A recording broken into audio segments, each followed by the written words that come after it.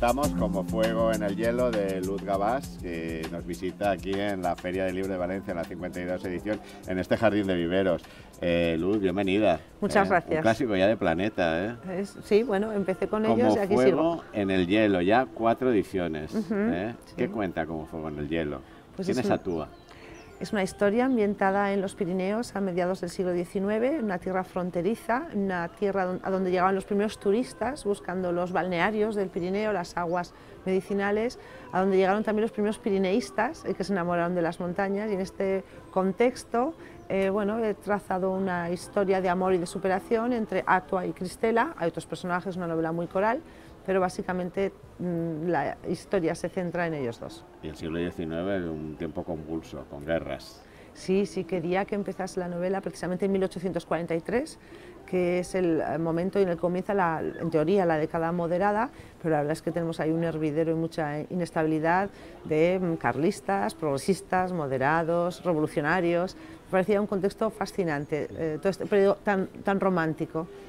Por un lado tienes los personajes, los personajes o los buscas o te encuentran. En este caso, ¿qué pasó con Atúa y con Cristela? ¿Te buscaron o los buscaste?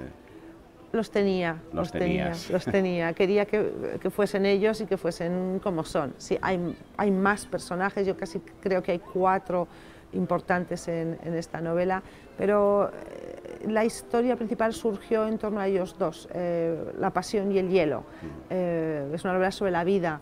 Todos los personajes están peleando continuamente entre la razón y la pasión, entre lo que desean hacer y lo que pueden hacer por culpa de, de la vida, de los obstáculos que les pone la vida por delante. ¿Y la documentación, el proceso de documentación, cómo ha sido? Porque una novela de este calibre necesitas documentarte.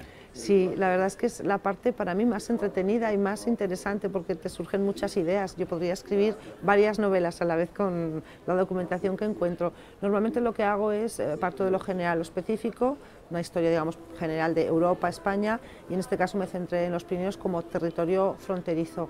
Manejé sobre todo, bueno, aparte de libros de historia evidentemente, muchos libros de viajes de los viajeros del 19 que recorrieron España y que cuando pasaban por los Pirineos se centraban específicamente en los Pirineos.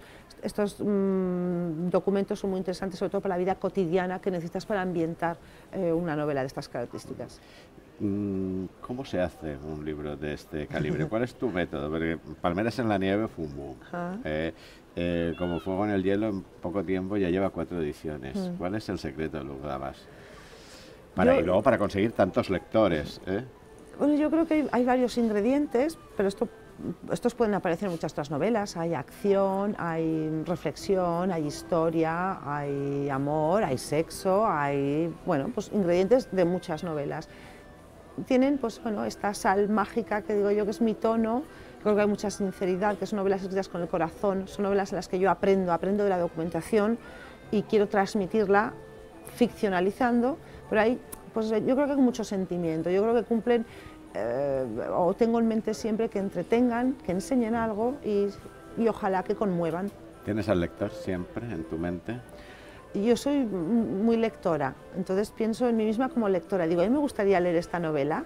Y digo, ah, pues sí que me gustaría. Ahora que la veo así, digo, pues a mí me gustaría sí. volverla a leer.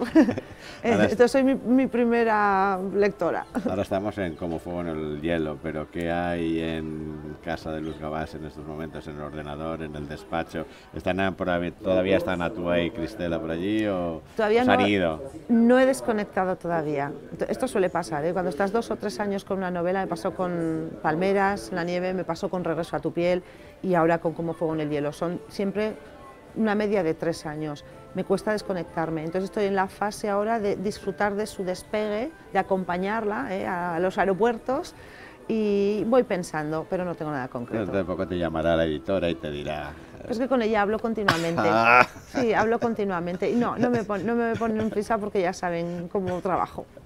Luz Gabás, como fuego en el hielo. Muchísimas gracias por haber compartido estos minutos con nosotros aquí en la Feria del Libro de Valencia en la 52 edición y muchísimas gracias por hacer tantos y tantos lectores. eh.